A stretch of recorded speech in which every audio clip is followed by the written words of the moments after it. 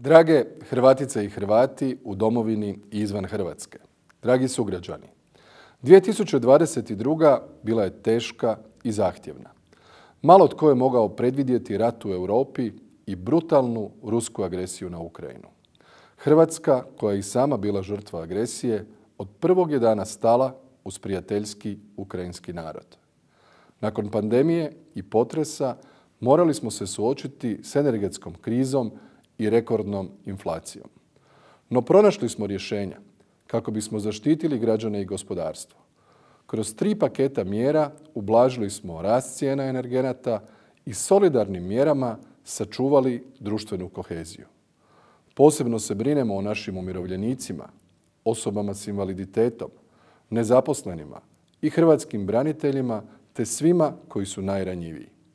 Zahvaljujući mjerama Vlade, kao i doprinosu svih zaposlenih i gospodarstvenika, ovu godinu završit ćemo s rastom od oko 6%.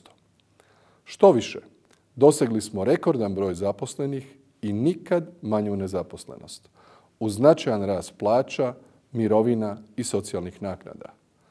Godinu na izmaku pamtit ćemo i kao godinu u kojoj smo ostvarili strateške ciljeve kojima smo kao narod dugo težili. Otvorili smo Pelješki most, svehrvatski projekt ponosa i zajedništva, kojim smo povezali krajnji jug s ostatkom zemlje, a integrirali smo i Baranju u mrežu hrvatskih autocesta.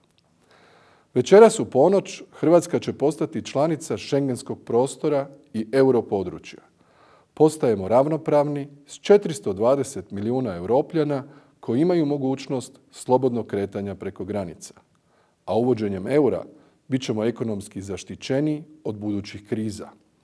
To je u sadašnjim geopolitičkim okolnostima važnije nego ikada. Prije tri desetljeća Hrvatska nije bila međunarodno priznata, a večeras ulazi u uski krug 15 država koji su istodobno članice NATO-a, Europske unije, šengenskog prostora i europodručja.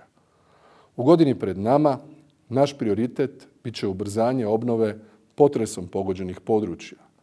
Nastavit ćemo poduzimati niz mjera za demografsku revitalizaciju, jer je to pitanje opstojnosti hrvatskoga naroda. Uložit ćemo dodatne napore u smjeru zelene i digitalne tranzicije, jer želimo da Hrvatska bude energetski neovisnija, gospodarski otpornija i klimatski neutralnija, a sve radi očuvanja našeg okoliša, prirodnih resursa i budućih generacija. Premda ne znamo koja će nam iznenađenja donijeti nova godina, Vlada će kao i dosad biti spremna na sve izazove. Štitit ćemo svakog hrvatskog građanina, biti čvrst oslonac gospodarstvu, te Hrvatsku i dalje voditi prema boljitku i razvoju.